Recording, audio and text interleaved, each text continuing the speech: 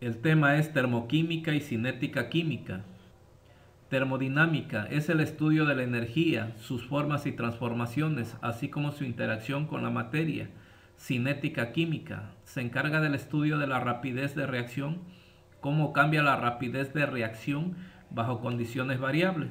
Y tenemos un esquema de termodinámica. Tenemos la energía nuclear, la energía química, la energía luminosa, tenemos la energía en movimiento y también tenemos la energía eléctrica y todas estas van a generar calor.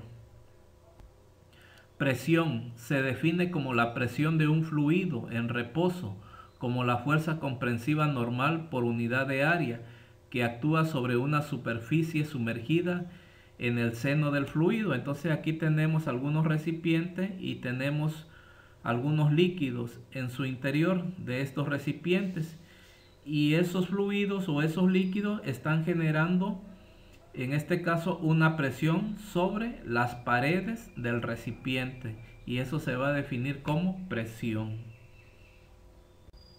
Tenemos calor, energía total del movimiento molecular en el cuerpo.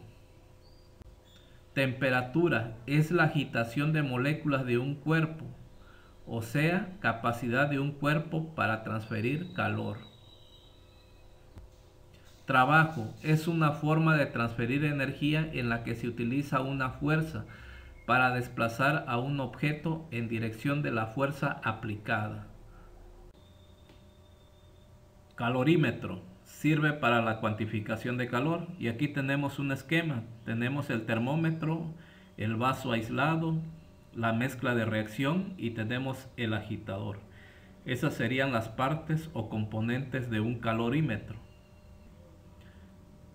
Calorimetría se refiere a los cambios térmicos asociados con las reacciones químicas.